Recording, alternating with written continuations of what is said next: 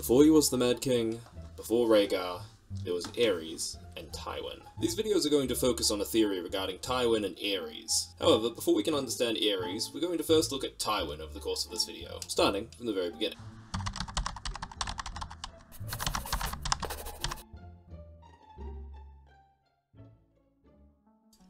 In 525, Lord Tytos, Tywin's father, agreed to wed his seven-year-old daughter Genna to the younger son of Walder Frey, Lord of the Crossing. Though, at ten years of age, Tywin denounced the betrothal in scathing terms. Lord Tytos did not relent, yet still men could see that his iron-willed, fearless child was hard beyond his years and nothing like his amiable father. Tywin Lannister was scary, even as a child. Now, in our journey to understand who Tywin is as a person, we should pause and know something here. Tywin is concerned that his sister is marrying beneath her. He's concerned not because he cares about her as a person per se, but because of her position within his family. He doesn't mind that Genna is marrying a mm-hmm. weasel-faced toad man who will make her unhappy. The issue is that this weasel-faced toad person is the second son. Though, Loki Internet, I have no idea how anyone could tell this. Walder Frey's family tree is a goddamn forest. And therefore, beneath his sister's considerations. Tywin doesn't really care about family members as people, more about extensions of himself extensions of his pride.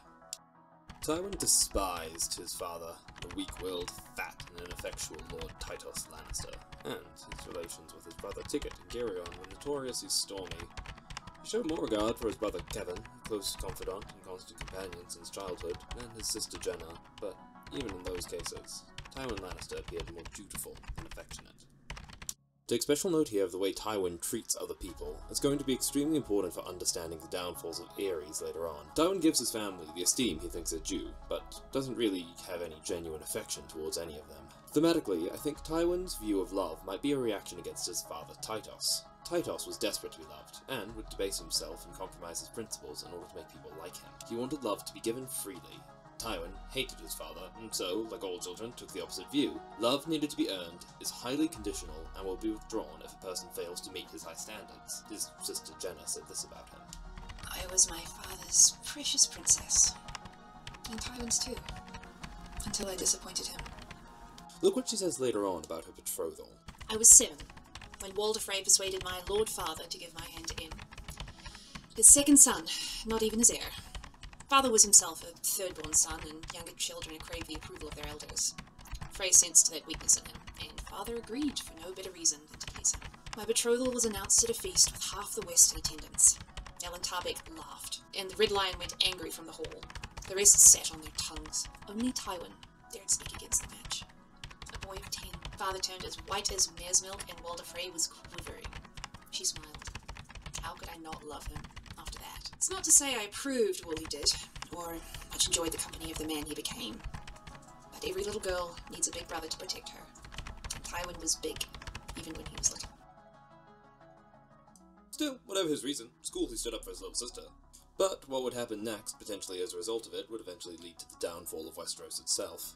Not long after the Frey incident, Lord Tytos dispatched his heir to King's Landing to serve as cupbearer at King Aegon's court, probably so he could be free from his son's judgmental stare. And this, in hindsight, was a mistake. Tytos had accidentally given his son access to the king's court and allowed a 10-year-old Tywin to befriend a then 8-year-old heir to the throne, Aerys Targaryen, as well as Aerys' cousin, 6-year-old Steffon Baratheon, who would go on to become the father of Robert Baratheon, not to mention best boy, Renly. On a peach. The text would go on to quote these boys as becoming inseparable, an alliance that would go on to prove problematic for his father, Lord Tytos, and life-ruining for Aerys. However, before we can go on, we have to cut it there, because I'm on a deadline and I only have so much time and Jin. Anyone see my key? Ah, quit your complaining, all two of my subscribers. Ooh. Oh. oh, hello. Oh my. When did you all get here? Well, the script's all done, so part 2 will be out next week. Oh, I hear subscribing makes it come out faster.